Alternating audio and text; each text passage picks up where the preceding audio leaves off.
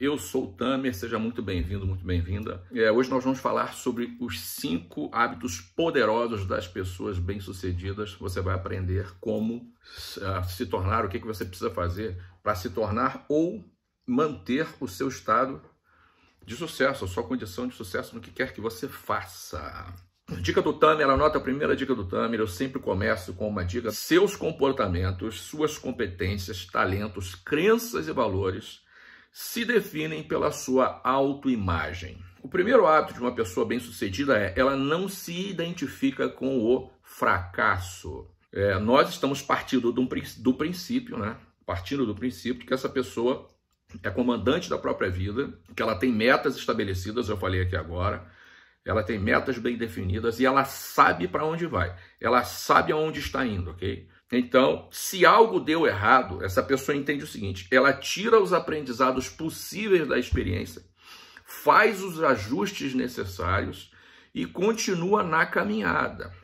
Então, de novo, ela não se identifica com fracasso, eu vou explicar melhor o que é isso daqui a pouquinho. Se alguma coisa deu errado nesse processo em que ela está indo em direção às metas dela, quaisquer que sejam essas metas, de novo, qualquer que seja o conceito que ela tem de, de sucesso, de uma pessoa bem-sucedida. Ela está indo em direção àquilo que ela busca, porra, alguma coisa deu errado. Ela para, extrai os aprendizados possíveis ali, dali dessa experiência, faz os ajustes e continua caminhando. Isto é, ela desiste da estratégia, mas não desiste dela. Uma pessoa bem-sucedida nunca desiste de si mesma. Ela não assume o fracasso como parte da pessoa que ela é.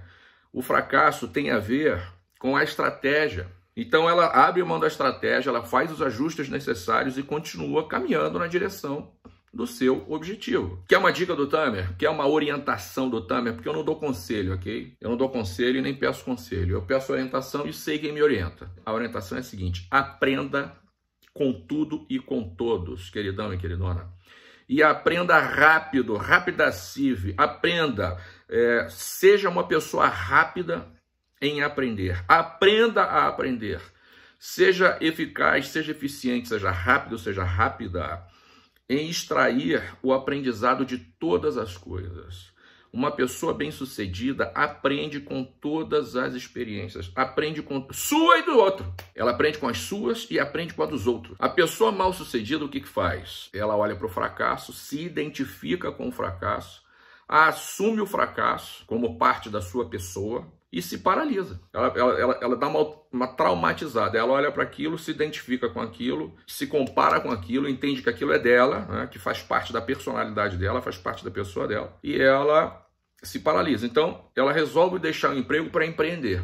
Por exemplo, né? hoje é muito comum, nessa né? geração de agora é muito comum. E aí ela, alguma coisa deu errado e ela desiste do empreendimento ao invés de desistir da forma como ela está empreendendo, porque são coisas diferentes. Então, o sujeito, o sujeito mal sucedido, o sujeito de fracasso, vamos chamar assim, ele se identifica com aquilo e, para, e paralisa, ele, nunca, ele não faz mais nada.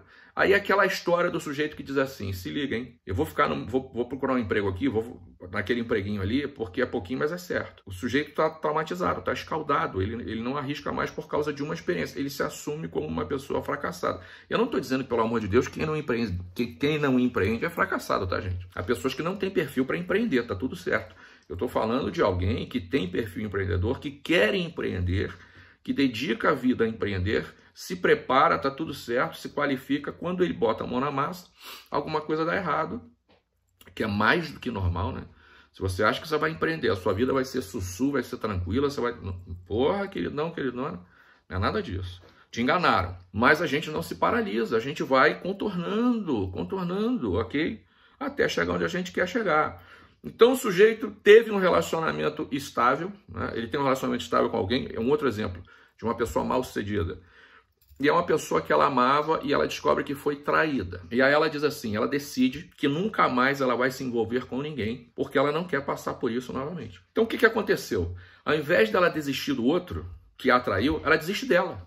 Você entende a diferença? Quer dizer, você está desistindo da sua vida, bicho. Você está desistindo de você. Ela esquece, ela não se dá conta de que ela pode conhecer outra pessoa e ser mais feliz ainda, bicho. Sabia? Ela não se dá conta de que a vida dela pode ser muito melhor, De novo, ao invés de ela desistir daquele momento da vida, ao invés dela virar a página e dar à sua vida um novo movimento, uma nova jornada, empreender uma nova jornada mais feliz ainda, agora mais calejada emocionalmente, com, com, com maiores e melhores músculos emocionais, porque os desafios da vida fazem isso com a gente, eles vão nos dando músculo, musculatura emocional, ok? O sujeito que não passa pelo fogo, o sujeito que não passa por desafios, é, fica, fica frágil emocionalmente. E por que, que a pessoa mal sucedida para diante das circunstâncias, queridão e queridona? Porque ela se identificou ao fracasso. O fracasso faz parte da pessoa que ela é. Ela acredita nisso. Né? Claro que não é isso, mas ela acredita nisso eu quero dizer uma coisa para você, se você se identifica com isso, né? se, você, se você passa por isso, né? se você já passou por isso, ou se você conhece alguém que já passou por isso. O fracasso, cara, está associado à estratégia que você usa, não à sua pessoa. Não é você, não tem nada a ver com você. Tem a ver com o que você faz, é diferente. É muito diferente. Não com quem é você.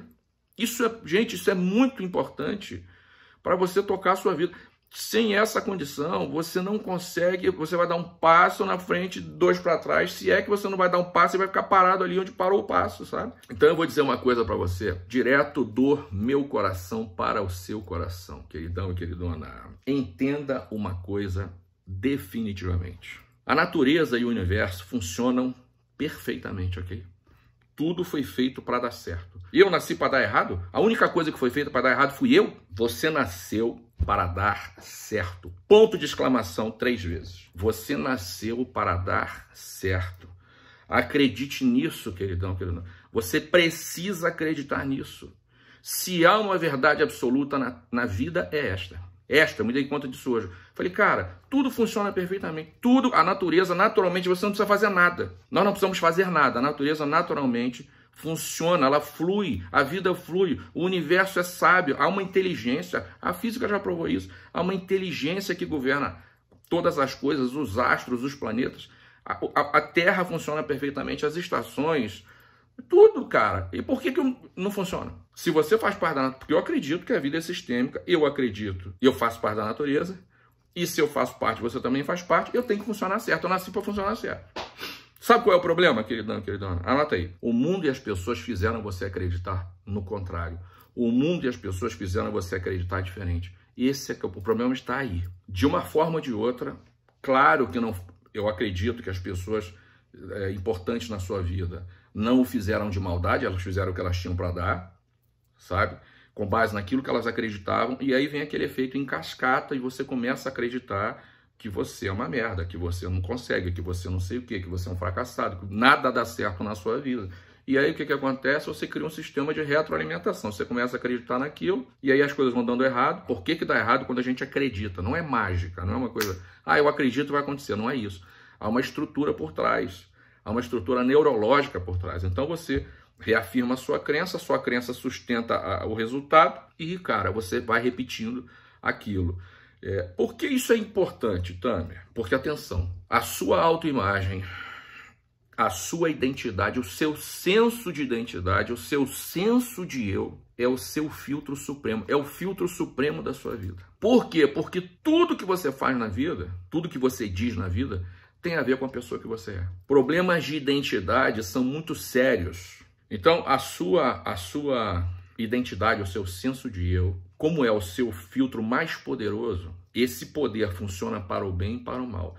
É, é, é um poder de destruir a sua vida ou de alavancar a sua vida. Você quer, quer mudar radicalmente a sua vida? Então mude a sua autoimagem. Faça isso agora. Faça por você, porque a sua vida não é minha, não. Pessoas que têm identidade fortalecida, bicho, elas apoiam as outras na, na, na, na conquista delas. Sujeito tem identidade firme, que sabe o seu papel no mundo, sabe o seu lugar no mundo, sabe o que está fazendo no mundo, ele reconhece, porque ele já fez esse trabalho, e já fez e continua fazendo, né? Porque é um trabalho eterno, na minha opinião.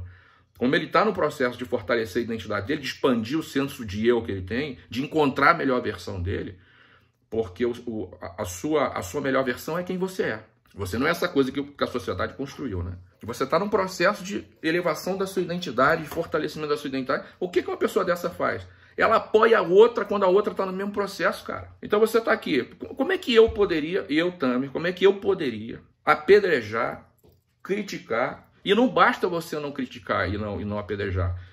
Quando você se omite, cara, é um pouquinho melhor, sabe? Porque o, o ideal vai ser apoiar o outro.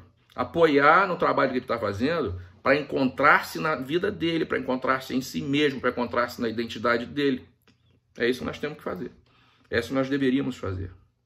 Então, uma pessoa que está nesse trabalho firme de, de, de, de, de novo, de fortalecimento, de ampliação, de elevação da sua autoimagem, ela apoia as outras pessoas a fazerem o mesmo. Ela não bota as outras pessoas para baixo. Então, por que, que as pessoas botam as outras para baixo? Porque elas estão na mentalidade de rebanho, elas estão na boiada.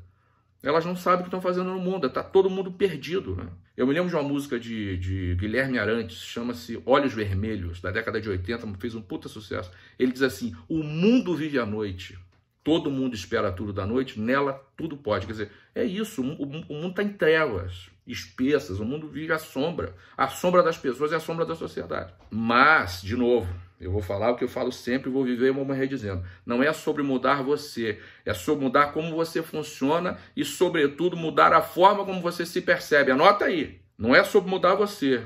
Eu não acredito na, na mudança do ser humano nesse sentido. Eu acredito que você, de novo, porque é uma incongruência. Se eu acredito que tudo nasceu para dar certo, que tudo funciona para dar certo, e eu nasci aqui, eu não fui parido, eu não, eu não sou um ET, uma outra coisa. Então, cara, não é sobre mudar a mim, porque a minha melhor versão já está em mim, eu só preciso encontrá-la. Eu só preciso descascar o casulo da minha ignorância, das minhas trevas, o casulo das minhas limitações, para achar quem eu sou de verdade, para achar minha melhor versão. Eu fico bobo, cara, como é que pode o sujeito achar o sujeito, pela fé dele, pela religião dele, ele acredita que ele é, como é que é? Imagem semelhante a de Deus. Só que Deus pode tudo, ele não pode nada. Ele é um merda, ele é um miserável na vida. Isso é uma incongruência absurda, cara. Eu sou filho do rei, mas a minha vida é de vassalo. Não tem alguma coisa errada.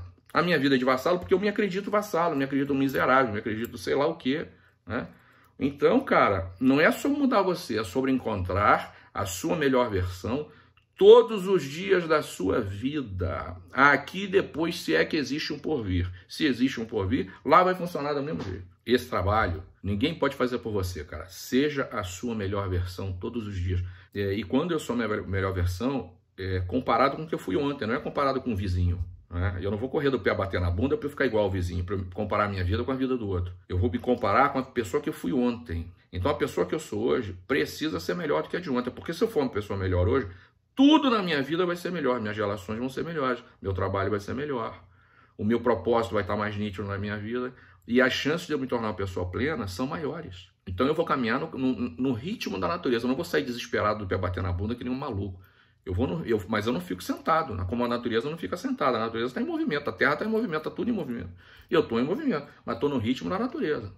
Não estou querendo porra louca. Então isso é uma coisa muito poderosa, bicho. É, vou repetir, é o seu maior filtro, é o seu, é o seu maior potencial e a sua autoimagem. É a noção que você tem de si. Isso é muito, não há nada mais poderoso. Não tem. Ah, Tamer, e as crenças não tem porra nenhuma. Porque você é o que você acredita. Então a sua noção de si é uma crença. Só que é uma crença num nível muito poderoso, é uma crença, sabe, a crença mais alta, mais importante, máxima da sua vida. E isso pode alavancar a sua vida e pode destruir a sua vida. Então, segundo hábito, a pessoa de poder, a pessoa bem-sucedida, acredita em si mesma. Então a pergunta que eu te faço é: se você não acredita em você, você vai acreditar em quem? Se você não se percebe uma pessoa confiável, se você não se percebe uma pessoa capaz você vai perceber o outro. Porque se não está em você, não está no outro. Se você não tem para dar, você não tem essa referência, cara. Eu preciso ter essa referência. A pessoa bem-sucedida, ela, ela tem fé em si mesma, ela tem fé, fé em Deus e ela tem fé na vida. Então, na pior das hipóteses, ela tem fé nela e tem fé na vida. Por quê, Tâmia? Porque ela sabe que só depende dela. Ela sabe que as coisas na vida dela só depende dela. Ela sabe que, por mais desafiante que seja, por mais é, desafios que ela tenha, e há pessoas no Brasil, num país desigual como o Brasil, eu falo isso aqui todo dia. Num país desigual como o Brasil, a gente falar de meritocracia, de meritocracia é sacanagem, né? Porque falou de meritocracia, não está falando sério, né? Porra, olhe, olha ao redor. Eu falo para meus filhos, olha do lado, olha para o seu lado. Não precisa você olhar para muito longe, não. Olha para o lado. Olha quem está do seu lado. Aí você vai ver que a vida tem pessoas que têm um puta desafio, muito maior do que o meu. Há problemas muito mais difíceis de resolver que os meus. Agora, se é uma pessoa bem sucedida, ela sabe que o máximo que vai acontecer, cara, é que ela vai demorar mais um tempo para chegar onde ela quer. É só isso. Talvez ela precise se qualificar, talvez ela precise buscar recursos que, que outras pessoas já têm, já alcançaram, ou já nasceram, já nasceram com ele, né? Porque eu já nasci com porra. Eu já nasci privilegiado, cara. Eu já nasci branco, nasci homem. Né? Não sou nordestino, não sou homossexual, não sou gordo, não sou preto. Eu já nasci com sorte numa sociedade como a nossa. Já sou privilegiado. Essa condição já me privilegia. Eu lamento se eu decepciono você, eu lamento muito. E eu peço a você que faça uma reflexão sobre o que eu estou dizendo. Não acredite no que eu estou só pense a respeito. Só pense a respeito. Né? Então, vá, vá procurar os dados estatísticos de quem, quem são as pessoas que mais morrem, quem são as...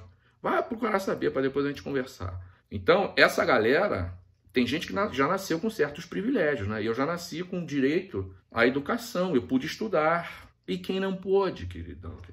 Ah, não, no Brasil, vamos dar o Bolsa Família desde que a criança. Vamos fazer uma coisa legal? A criança vai para a escola e a gente dá um Bolsa Família para a família. Então só tem que estar tá na escola. E eu pergunto: que escola? O Brasil tem escola? Quem é que acredita no modelo de educacional do Brasil? Quem é que acredita na política de educação no Brasil? Nós temos, acho que, o quarto candango aí, que acabou de assumir o Ministério da Educação. Você acredita na educação no Brasil? Então, cara, se você pode pagar uma escola para seu filho, se seu filho estuda numa escola particular, se você estudou numa escola particular, você é um privilegiado. Por isso que eu digo, nós temos mais condições de agradecer do que. A Bíblia diz uma coisa curiosa. Só que eles interpretam diferente. Eu vou dar para você uma interpretação diferente da te... interpretação teológica. A Bíblia diz assim: os filhos das trevas são mais prudentes do que os filhos da luz. Tem uma galera aí que não teve acesso a porra nenhuma nem a dignidade. Eu conheço, hein? Eu não estou tirando da bunda, não, eu conheço. Mas que tem uma visão de mundo mais rica do que a minha do que a sua junto. Juntar eu e você, eu não tenho uma visão tão rica como, como dessa pessoa. Pessoa com senso de identidade que eu não atingi ainda. Agora, se isso não basta para você, ah, isso não basta. Se, a, se, o seu senso de identidade, se a, se a, pessoa, a sua pessoa de base não basta para você acreditar em si, arruma uma coisa maior do que você, cara. É, encontra alguma coisa maior do que você, o Deus, o sei lá quem, Agora, obviamente, necessariamente, esta coisa ou este alguém precisa fortalecer a sua autoimagem, né? Precisa sustentar crenças é, poderosas acerca da pessoa que você é, acerca do seu lugar no mundo, do seu papel no mundo, do seu papel com as outras pessoas. O sujeito mal sucedido, a pessoa mal sucedida, ela quer ser feliz no amor, né? Ela quer ser feliz no amor, mas ela não acredita que alguém possa amá-la como ela é. Tá cheio. Tamer, como é que eu faço para ser feliz no amor? O cara vai lá no consultório, cara. Quando eu fazia consultório, não faço mais consultório. Ah, ninguém vai me amar como fulano. Porra, você se ama. Porque quando você não se ama, bicho, o seu comportamento não permite que o outro te ame. É uma coisa, é assim. Então você quer um relacionamento feliz, você quer saúde, mas você só fala em doença. Você quer uma sociedade justa, mas você só fala de, de injustiça. Você quer é, um amor, mas você só tem ódio para dar, você só fala do ódio. Você mesmo não se aceita, então você não admite que alguém vai. Por que, que eu vou acreditar? Se é uma questão de inteligência, pensa comigo. Por que, que eu vou achar né, que alguém não me aceita como eu sou? Porque eu não me aceito. É óbvio.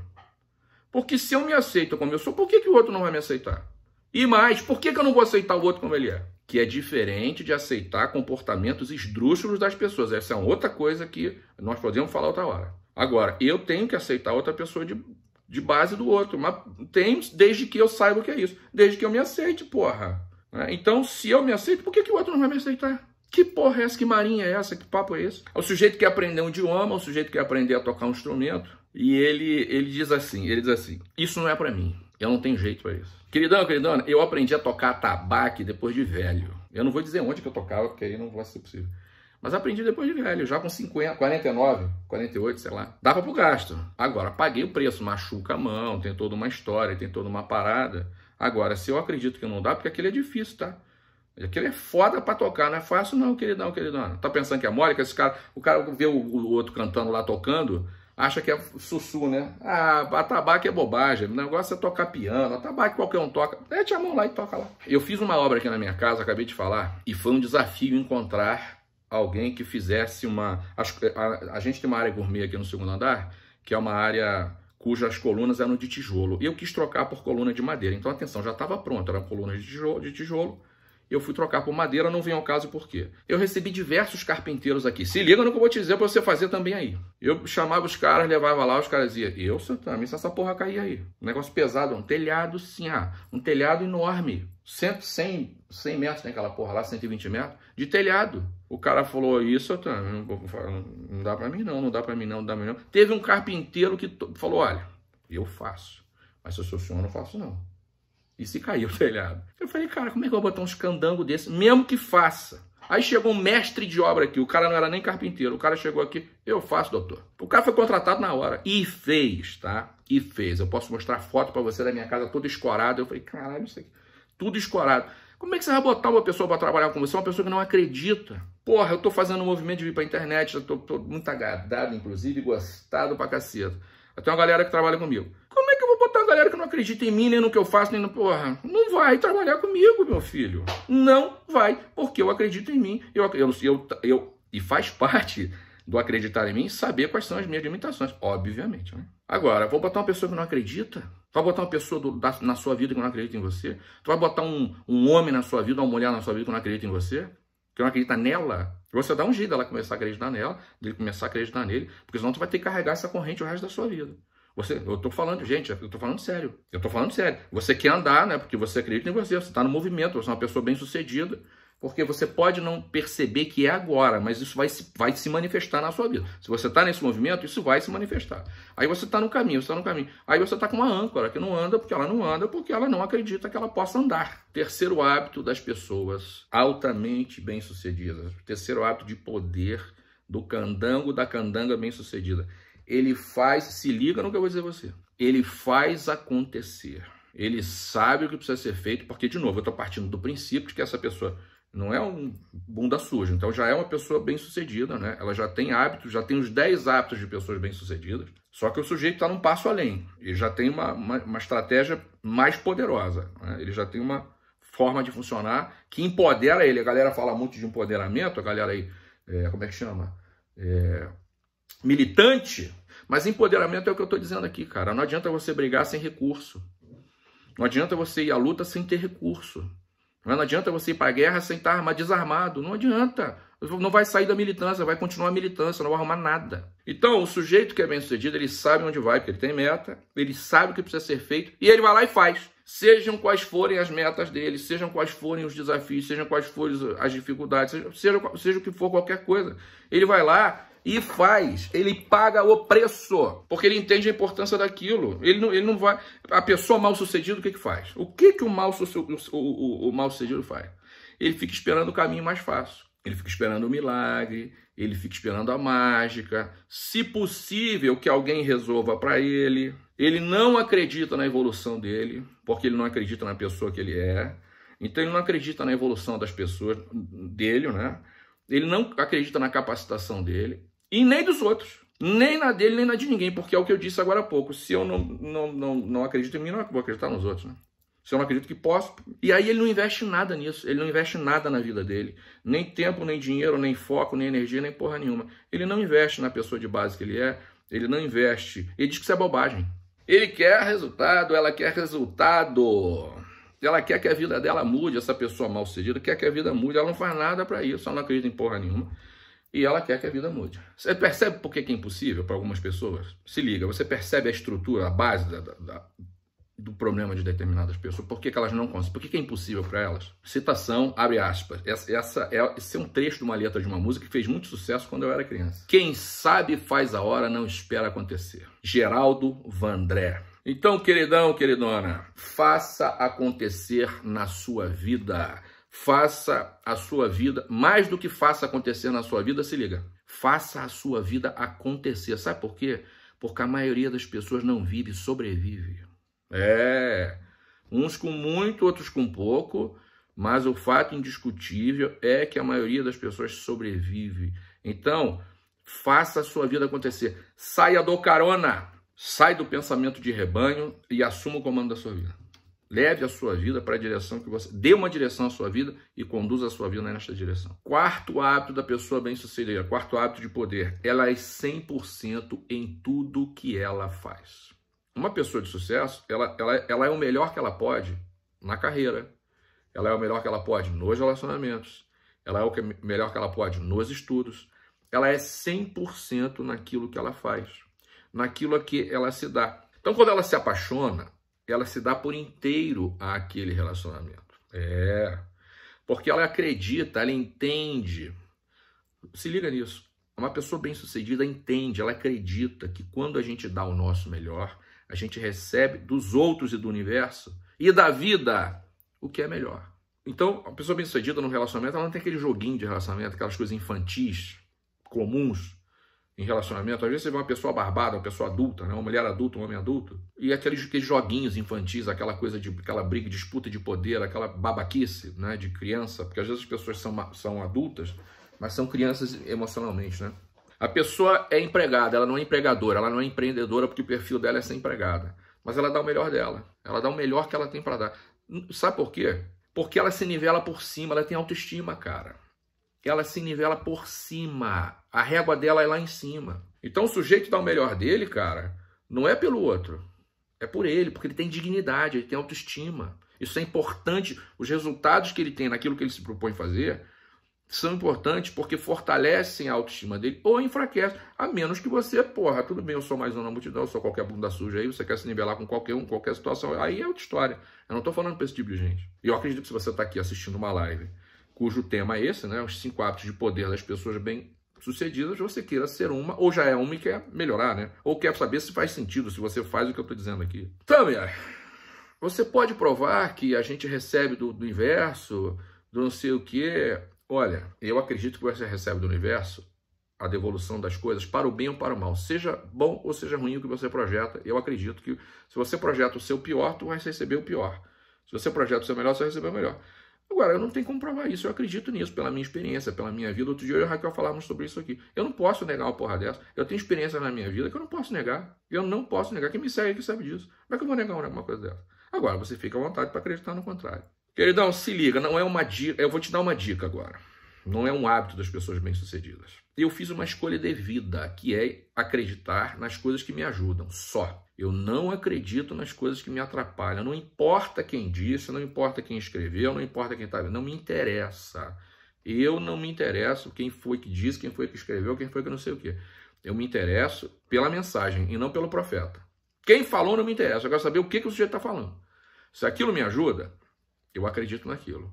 Se aquilo não me ajuda, eu dou um foda-se, mas eu dou um foda-se com pH e, e, em caixa alta. Quando eu identifico uma crença limitante na minha vida, é o que eu faço. Dou um foda-se em caixa alta. A pessoa mal sucedida, ela funciona diferente. Ela, ela dá o pior de si e exige o melhor dos outros. Ela não tá, ela não tá no jogo para trocar, sabe? Ela não joga o jogo do ganha-ganha. Ela joga o jogo do ganha-perde. Ganha ele e perde, perde os outros. Né? Porque ela não é o melhor de si, então o outro já está perdendo, mas ela quer o melhor do outro. Ela faz questão que o outro dê o melhor. Ela faz corpo mole no trabalho, mas quer ser bem remunerada. É a primeira a pedir aumento, é a primeira a fazer greve, é a primeira a fazer barulho, mas é a mais medíocre. Né? É aquela que não sai do, do, do não eleva o padrão. Ela não estuda o ano inteiro, leva o negócio na boemia o ano inteiro e quer que o professor denota ela para passar. Aí ela não passa, ela diz assim: que absurdo!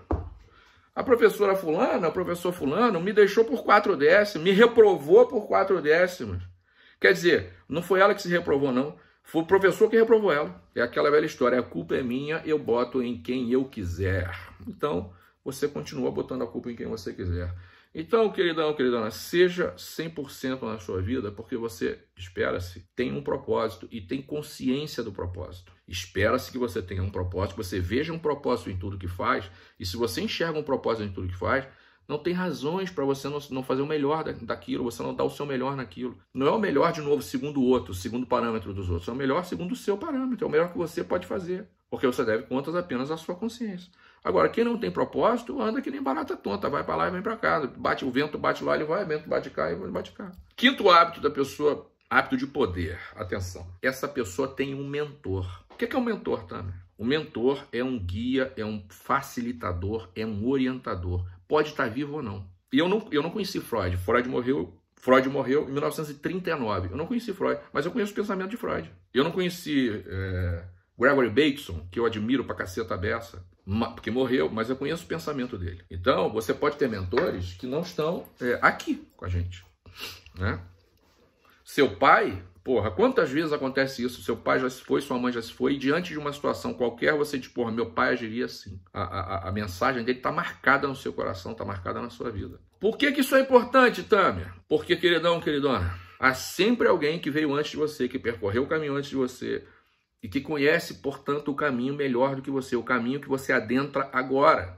O caminho que você adentra agora, alguém já passou antes, já preparou para você o caminho.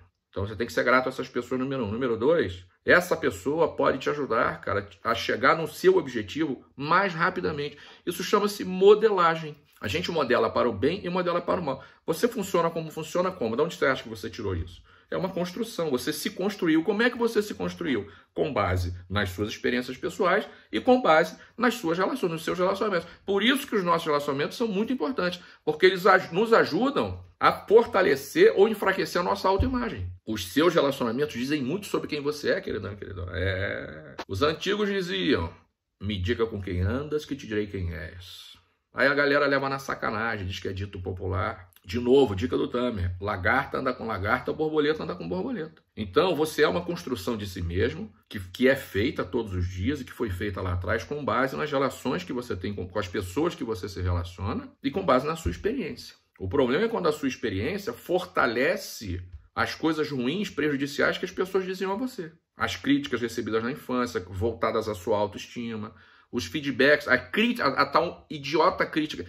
Crítica construtiva não existe. É o sujeito, ele recebe tanta crítica construtiva que ele se desconstruiu, se destruiu, destruíram ele. Eu não conheço uma crítica construtiva que não destrua os outros, nem que seja momentaneamente. Qual é a maior crítica que se faz ao mercado de coaching hoje? Por que, que eu não me apresento como coach? Por que, Tamer? Porque hoje, salvo exceções, obviamente, que eu estou generalizando, e, obviamente, uma sociedade, uma profissão, uma categoria, não se faz de exceções, se faz de regras. As exceções são um parâmetro para confirmar as regras.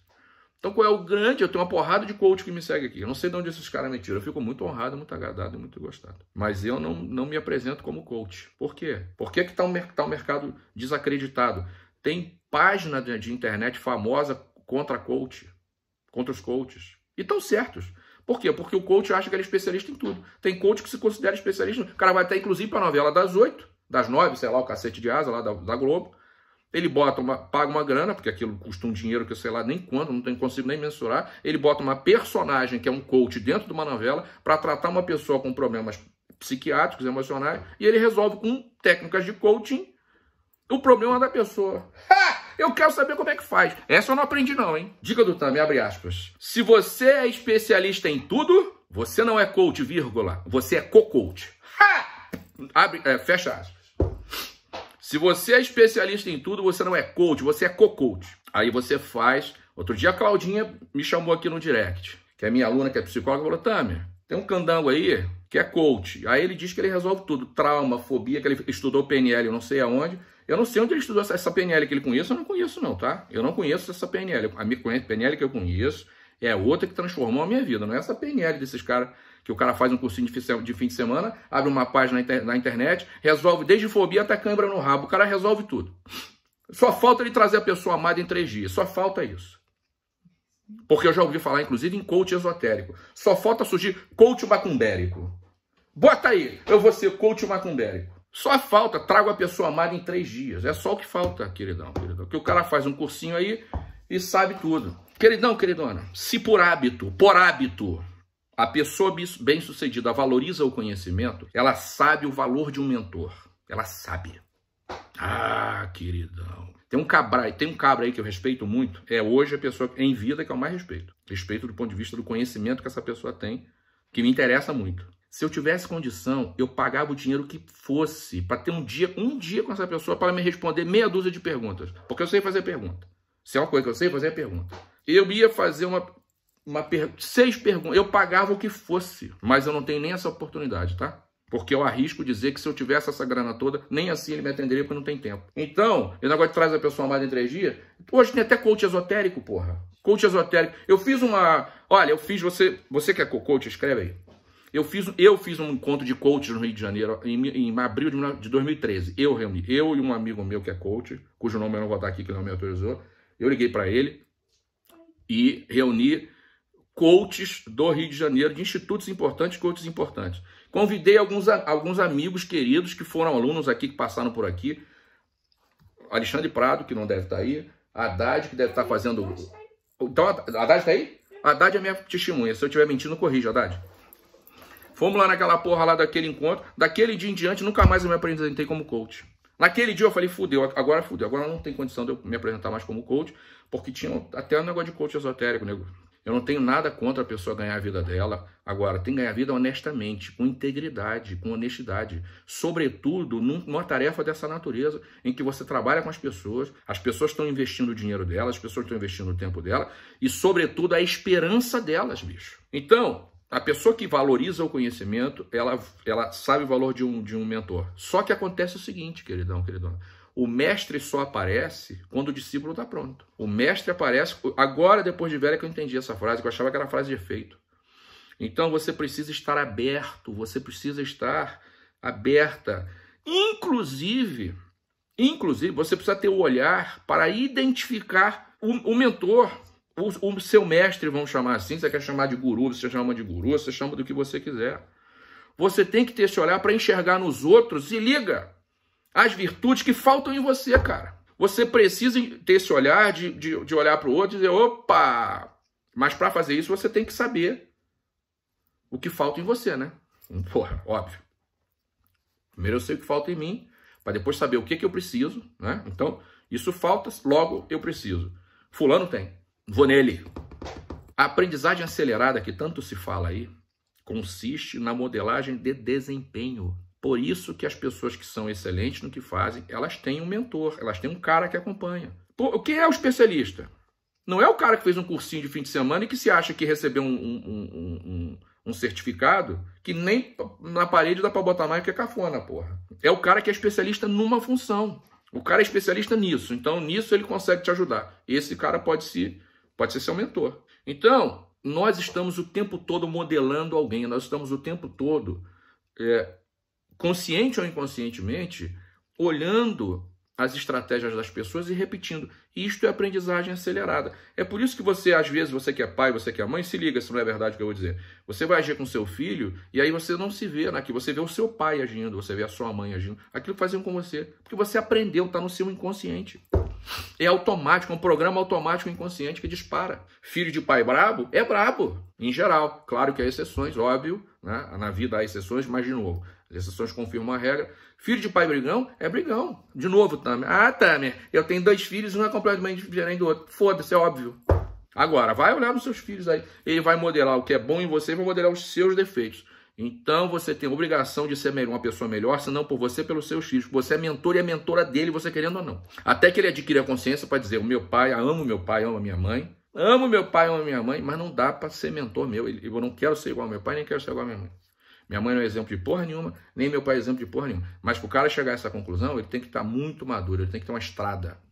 Até que a pessoa tenha essa estrada, e não, não é idade não, tá? Não é idade não. Não é idade cronológica não. Não é maturidade cronológica não, se é que isso existe. Então, até que a pessoa tenha condição de definir os mentores dela conscientemente, ela vai na tua, filho. Você que é pai, você que é mãe. Então, por que, que o autoconhecimento é importante? Porque ele ajuda, de novo, ele ajuda você a aplicar a modelagem conscientemente. Opa, me falta isso, fulano lá tem, eu vou nele, porque eu preciso daquilo na minha vida para alavancar, para andar, para amanhã ser melhor, para funcionar melhor amanhã. Isso otimiza o meu processo de aprendizagem, isso otimiza o meu processo. Quem não sabe o que é otimizar é tornar ótimo coloca eficácia no meu processo de encontrar a minha melhor versão. Ao invés de levar um mês, levar um ano, levar dez, é ali. É uma pergunta que eu faço pro cara que vira a chave. Uma vez eu estava no meu no, no, salão de treinamento especificamente em junho do ano passado. Treinamento metamorfose, que é presencial, que eu dei em junho do ano passado. Um aluno chegou perto de mim para fazer uma pergunta e eu respondi a pergunta dele. Os olhos dele encheram, encheram de lágrimas, me agradeceu. Depois ele falou para Raquel, Raquel, eu tô falando de uma pessoa rica, com dinheiro para botar pelo ladrão. Ele virou para falar, Raquel, nem pagando as pessoas me disseram o que ele me disse agora. É uma pergunta, por isso que eu estou dizendo esse camarada. Se eu fizer seis perguntas a ele, isso ia me economizar, sei lá, bicho, anos de estudo. Que eu ia ter que ficar com o rabicó sentado para estudar aquilo que é o conhecimento que ele tem, que ele detém, que eu não tenho, e que para mim é importante. Então, por que, que o autoconhecimento é, é importante? Porque ele te permite identificar é, qual é o seu diferencial e onde você precisa melhorar. Porque quando você sabe onde é que você é um diferencial, você, né, claro que vai refinando aquilo, mas o seu esforço, a sua concentração vai ficar onde? Vai ficar onde você precisa melhorar. Porra, sou um excelente palestrante, tenho muito conhecimento. Eu conheci um camarada que tinha um conhecimento extraordinário, mas ele não tinha a menor condição de falar em público. Puta conhecimento! É a pessoa que eu conhecia, a pessoa da minha relação. Ele tinha muito conhecimento, mas o que, que esse cara tinha que fazer que não fez até hoje? Que me conste. Porra, vai fazer um curso de oratória, vai encontrar alguém, alguém um mentor, que te ensine a falar direito, falar para público, porra. Então, o autoconhecimento te permite isso. O mal sucedido, o que, que acontece com o mal sucedido? Ele sabe tudo. Ele não tem que aprender mais nada na vida. É o sabão e a sabona. Quando eu digo Raquel, o sabão. O sabão é aquele que sabe tudo. A sabona é o feminino. Ele não tem mais nada para aprender. Frase clássica do sabão, anota aí. Eu não preciso de ninguém para nada. É o autossuficiente. Ele não precisa de ninguém para nada. Ele sabe tudo. Ele vê uma pessoa bem sucedida e diz assim: Fulano tem tanta sorte, né? Fulano nasceu com a bunda virada para a lua. É a frase do sujeito mal sucedido. Ele não acredita. Se fulano tem dinheiro, ele pensa assim: ah, só pode estar tá roubando, roubando ou levando vantagem. Ele não admite que a pessoa possa ser bem sucedida trabalhando, se qualificando. Ele não admite. Ou então o cara diz assim: se liga no que eu vou dizer para você agora, hein? Porque eu tenho certeza, embora não conheça vocês todos, que tem gente aí que vai se enquadrar no que eu vou dizer agora. Tem gente que já ouvi, tá? Eu já escutei. Meu mentor. Ah, Tamer, negócio de mente eu tenho a minha. Meu mentor é Deus. Teu mentor é Deus. Só que você não desenvolve as virtudes do seu Deus, qualquer que seja ele. O seu Deus é apenas uma questão de liturgia. Você não desenvolve de novo as qualidades, as virtudes do seu Deus. Pelo contrário, você utiliza o seu Deus, a sua fé, para justificar os comportamentos inadequados que você tem. Então você é cristão, por exemplo, é cristã, você não enxerga as virtudes do homem que foi Jesus. Você, você enxerga o Filho de Deus, né? Isso é fácil, porra. Você não enxerga o homem que foi Jesus, as virtudes que havia em Jesus. Aí você, muito pelo contrário, você utiliza a sua fé para justificar as coisas esdrúxulas que você faz. Aí você diz assim para todo mundo ouvir. Você bota adesivo no carro, você bota lá no perfil das suas redes sociais, você bota assim: Filho do Deus vivo, filha do Deus vivo. Mas é só frase de efeito. Identidade, de novo, eu falei lá atrás, autoimagem. Presta atenção. Eu sou filho de Deus. Isso está no nível da tua identidade. Isso está no nível da pessoa que você é. Isso é muito sério. É a primeira dica que eu dei hoje, o primeiro hábito. É a sua autoimagem. Tudo que você faz tem a ver com a pessoa que você é. Não é de outro jeito. Mas eu sou filho de Deus, só que o seu comportamento é de filho do diabo. O cara olha para você e não vê. Testemunho de vida. Você diz que é cristão, aí você vai para a televisão, por exemplo, espizinhar os outros, debater com os outros. Você pega o crucifixo, tatua na testa, tatua na bunda, tatua no antebraço, tatua, tatua nas costas. Mas é tudo fake, é da boca para fora. Porque você não quer pagar o preço de ter a disciplina de desenvolver os frutos do Espírito Santo. Está lá, eu conheço a Bíblia. Amor, bondade, fidelidade, domínio próprio que você não tem. Você vai para a televisão brigar com as pessoas, sair na porrada com as pessoas, né? num, num diálogo inflamado com as pessoas, porque você não tem mansidão, você não tem domínio próprio. Aí as pessoas dizem, fulano, e a área do espírito? Aí ele vai defender, né? Porque não, eu sou, mas eu sou uma pessoa informada, crente, sou crente, mas não sou bobo, sou crente, mas não sou otário. É o que ele vai dizer para você. Acredito, mas não sou otário. Ele prefere pedir a Cristo, pedir ao Cristo, que é um nome, na minha opinião, do maior respeito, né? As pessoas deviam lavar a boca para falar esse nome. E a pessoa prefere pedir a Jesus Cristo para ela prefere, ela rala o joelho em oração, faz jejum e o cacete, para Deus fazer um milagre e mudar a vida dela, resolver a vida dela. Ela esqueceu, por que, que ela faz isso? Porque ela esqueceu do que o mandamento é vigiar e orar, e não o contrário, não é orar e vigiar. O vigiar vem primeiro. Aí a pessoa não é cristã, mas ela é filha de orixá, ela é de orixá. Aí ela acende vela para orixá resolver a vida dela. Na África não se acende vela, tá? Só para você saber, se acende vela no Brasil. Aí ela acende vela para orixá resolver o casamento dele que tá falido, porque ele dá porrada na mulher, ela dá porrada no marido. Ele vai lá, é, ele tá desempregado, mas ele não quer estudar nem quer se qualificar. Aí ele fica pedindo para orixá dar um emprego para ele. O emprego que ele não tem, que ela não tem. Mas ele é incapaz, se liga no que eu vou dizer para você, ele é incapaz de desenvolver a disciplina de Exu. Exu é o orixá, não é essas Exu de encruzilhada, com todo respeito a eles, tá? O orixá, o orixá da disciplina, da tolerância, da paciência, que ele não tem. Ele dá porrada na mulher porque ele não tem a paciência do orixá dele. Ele não quer procurar um emprego, porque ele não tem a disciplina para estudar que Exu tem. Né? Eu, sou, eu sou brigão, eu saio na porrada, eu não levo desaforo para casa, morou? Porque eu sou filho de Ogum. Né? Filho de Ogum não tem medo de nada. Só que ele esquece que Ogum é o orixá do trabalho, e, e, da, e da evolução. Mas ele não quer trabalhar. Então, Ogum só, só serve para justificar a ira que ele tem, a, a, falta de domínio próprio que ele tem. Mas não serve para ele arrumar um trabalho, para ele trabalhar, para ele ser gente, não serve. Ele não quer o senso de justiça de Xangô, né? Ele sacaneia todo mundo. Não, Xangô é fogo, eu sou fogo, eu taco fogo no paiol. É, mas ele esquece que Xangô é justiça. Ele não quer. Ele prefere. Sou filho de Oxum, mas tá dando porrada no marido. Ele esquece que Oxum é o orixá da doçura, que representa essas coisas. Vai estudar um pouquinho. Você que você acha que o orixá é satanás, não dá nem pra você ficar me ouvindo aqui. Vai para casa, que não é, não é o caso. Então, eu sou filho de Ogum, eu sou, sou mas coragem, ele, ele tem coragem para sair na mão com os outros, né? Mas ele não tem coragem de trabalhar, ele não tem a coragem que Ogum tem de trabalhar. Aí você, né? Você convida o candango a candanga para fazer um, um, desenvolvimento, um, um, trabalho de desenvolvimento pessoal. Você vai lá no filho de Ogum, no filho de Xangô, no filho de sei lá de quem, no filho da puta, e chama o cara para fazer um trabalho de desenvolvimento social. Pra quê, ô fulano? Minha vida tá ótima. Tá tudo sussu, tá tudo tranquilo. Pra que, que eu quero, quero desenvolvimento humano?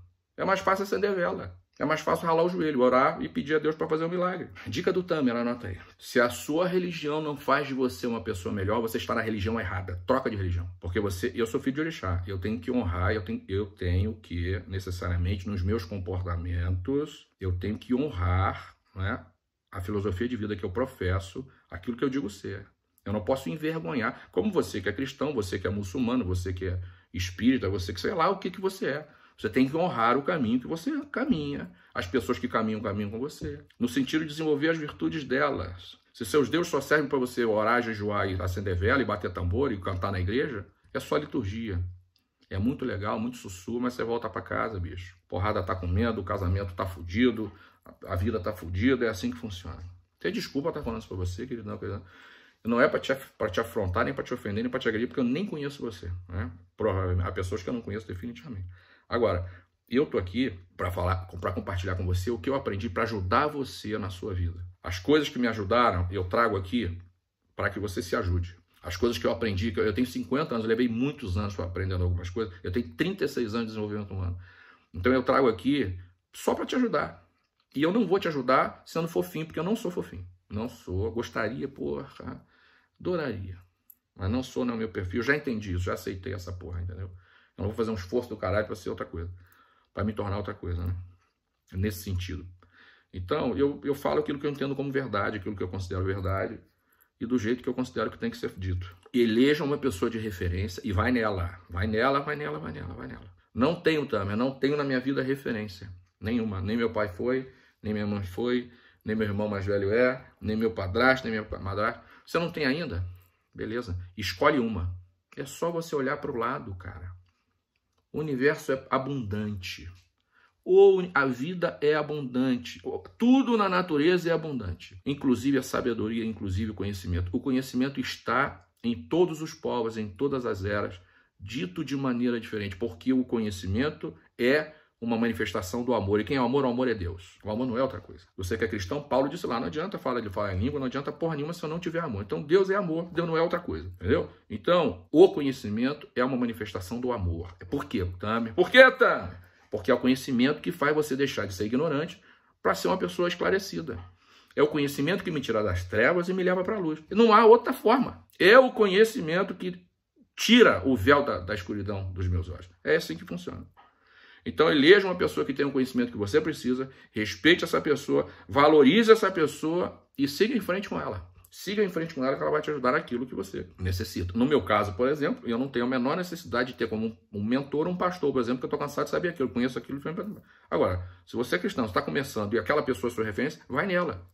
Então se liga nela e respeite essa pessoa e valorize essa pessoa, porque ela trilhou um caminho que você está querendo trilhar. Ela já está lá na frente, você está no início do caminho, cara. Então, o cara que acha que sabe. Sabe qual é a. a tem um pensador que fala isso aí, que eu não me lembro o nome. Ele diz assim: no, na, na, moder, no, no, na atualidade, a maior, o maior desafio vai ser o sujeito aprender, reaprender a aprender, ele, reaprender a aprender. Essa é, essa que é foda. Porque o cara que acha que sabe tudo, ele não quer nem ouvir o outro. Ele nem ouve. Às vezes, cara, tá passando na sua frente, o universo tá te dando ali, ó, sussu, tranquilo. Tá ali, bicho, tá ali. Tá... A informação que você quer, o conhecimento que você precisa, a coisa que você precisa para transformar a sua vida, para dar aquele, aquele, né, aquele passo que você precisa dar, mas você sabe tudo. Você não tem nem o olhar, você sabe tanto que você não tem nem o olhar para identificar uma pessoa que eu conheço que deve estar tá aí, que ela está assistindo minhas aulas todas, que é uma amiga pessoal que eu tenho, que é pica no negócio, pica no negócio que ela, no, no mistério dela, no, no, no, ofício dela. Eu não, em 51 não conheço pior. E ela foi mentora de uma candanga que veio da classe D, sei lá o quê, uma pessoa com uma vida limitante, que caiu na mão dessa outra que eu tô falando aqui. Sabe o que aconteceu? Ela me falou ontem. Falou, acabou a mentoria. Acabou, porque a garota não quer. Essa garota não sabe nem, nem quem é a pessoa diante da qual ela estava. Ela não conhece a pessoa que era mentora dela. Ela não sabe, ela não conhece. Porque se ela souber, ela se mata. Porque ela sendo mentorada uma pessoa daquela qualidade, cuja hora eu não sei nem quanto é que custa, se ela fosse me cobrar os, os, os as ajudas que ela me dá aqui no que, no que é o, ofício dela, que ela já enrolou pepino meu aqui, tá mentorando a outra, a outra não sabe nem quem tá na frente dela. Ela ignora aquele ser humano que tá na frente dela. Que tem nego aí que nem sabe que existe, ou que dá a vida para ter dois minutos com aquela pessoa, três minutos para fazer uma pergunta e não. Então nós estamos falando dos cinco hábitos de poder da pessoa bem-sucedida.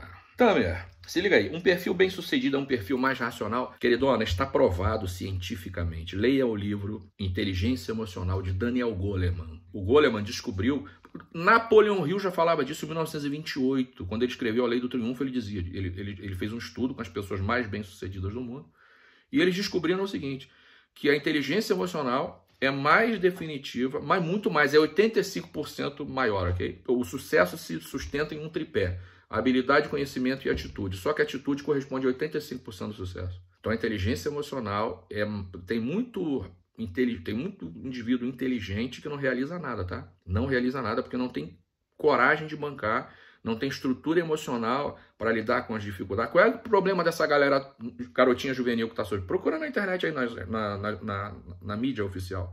Essa galera que está chegando aí com uma porrada de diploma que é o, a decepção dos empresários porque eles não têm condição de lidar com frustração, eles são os despreparados emocionalmente.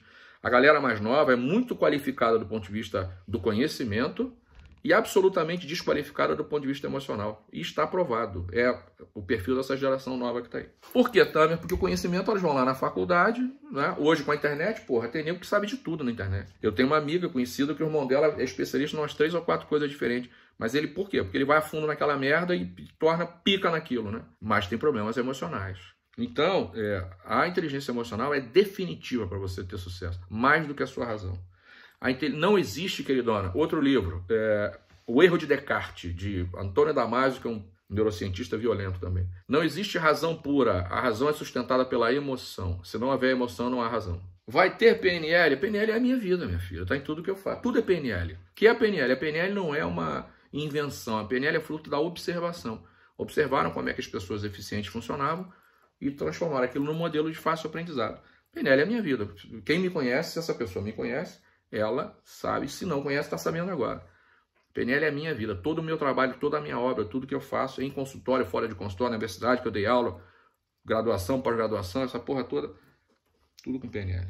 Mestre, explica a relação entre o medo de não conseguir e a autossabotagem. Queridão, bota uma coisa na cabeça. Existem dois medos naturais: o medo de grito e o medo de perder o equilíbrio. Todos os outros medos são construídos. O medo é uma emoção ligada à sobrevivência. Então, claro, eu estou diante de um leão, é natural que eu tenha medo. Todo outro medo é construído. O medo de fracassar é uma construção. E, claro, é uma forma de autossabotagem, obviamente. Porque não há emoção mais paralisante do que o medo, que a função do medo é essa, ou paralisar ou ir para a luta. Essa é a função do medo. A resposta ao medo é essa. Ou você para, ou você briga, ou você luta, ou você foge, corre, né? Então, é, não há outra emoção mais limitante do que o medo. Eu vou dizer mais para você, na minha experiência de trabalho, estava desenvolvendo pessoas ao longo de 18 anos, porra, sei lá, 90%, eu não tenho essa estatística na cabeça, né, na ponta do lápis, mas é mais ou menos isso. 90% das, dos problemas emocionais são derivados do medo. É um medo refletido de outra forma. Então, a timidez é uma forma, é uma, é uma forma de medo, é uma derivação do medo, por exemplo. A fraqueza emocional é uma derivação do medo. A insegurança é uma derivação do medo, e por aí vai. Então, não tem nada mais limitante do que o medo, no sentido de paralisar uma pessoa, do que o medo.